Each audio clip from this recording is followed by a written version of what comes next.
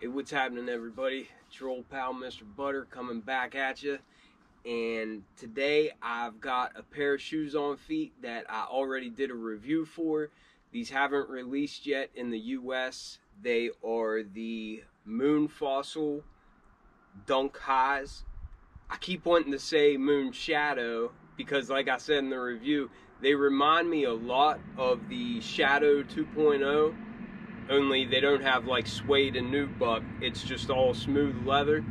But I keep wanting to call them the Moon Shadows, and that's actually a Cat Stevens song. So if I say that in the video, just know I'm talking about the Moon Fossils. But anyhow, I swapped out the laces. It came with laces that are the same color as this Moon Fossil, the tannish colored leather that is on all the overlays. I really, really like the black laces and I really like the white laces. I'm not sure which I prefer, but I wanted to show you guys what they look like while I'm wearing them. I decided to throw on a pair of jeans that look like they're from like 1992 and I love the way it goes together.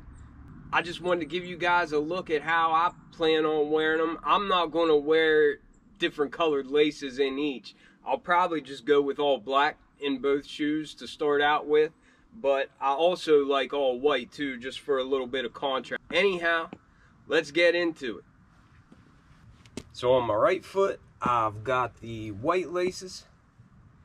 And like I said, I just think that pulls in a little bit of that bright white midsole. I think that looks nice. I prefer the white laces to the moon fossil laces, but my favorite is probably the black so you'll have to let me know. There is just something about having that black to match the black tongue and really the base of the shoe. And while I'm talking about the base of the shoe, in the review, I hadn't really gotten a good look at these, but I had made the comment that the leather was nothing to write home about. And now, while that's true for the moon fossil, for the tan overlays, the black leather on the base of this shoe feels great. It's it's very very soft. I don't really know what to compare it to. It does seem more high end than your standard GR Dunk though.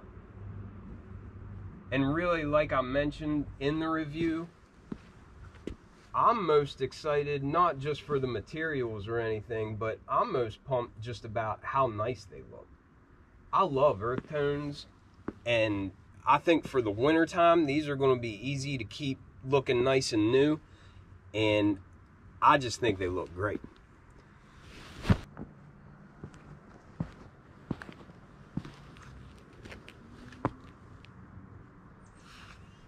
And I also mentioned there is a, there's a little bit of like sparkle in the Nike emblem on the tag, on the tongue. But I really don't understand why this is a women's exclusive release. Fortunately, it just works out for me because I wear a 10 and a half in dunk highs and it goes women's sizing goes to women's size 12 which is equivalent to a men's 10 and a half. These fit perfect but i wouldn't be able to get any smaller than this. So i'm glad that they continue to make them up to men's size 10 but i'm sure more people would like to wear this shoe that have a bigger foot than me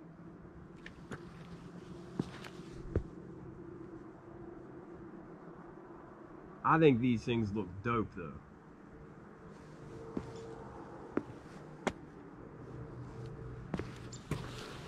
Also forgot to mention my Bape shirt. And it's a collaboration, I guess it's called Barbour.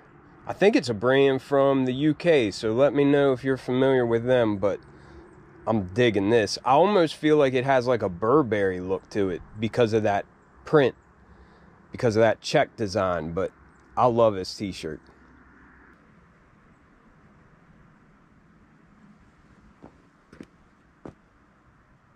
The jeans are Banana Republic, if anybody's wondering.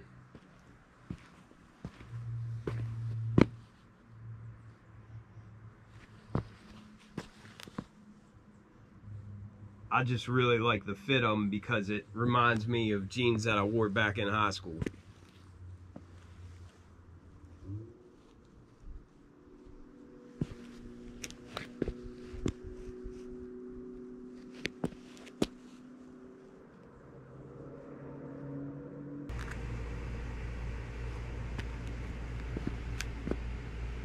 On my radar as far as upcoming sneakers go, I really, really want to hit on the cool gray Jordan 11s.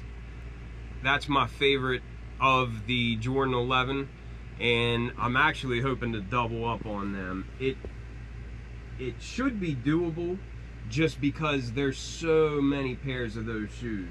So I would really encourage patience when it comes to them because I think they're going to be easier to get than what people are thinking.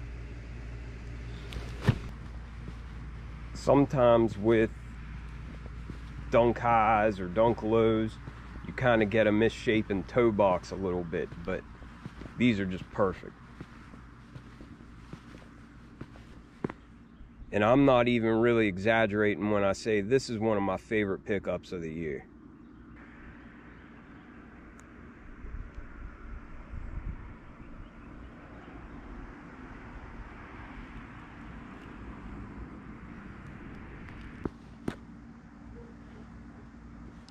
Let me know what laces you all prefer in these. I think either one looks good, but I do think I'm probably, I'm, I'm gonna go with the black.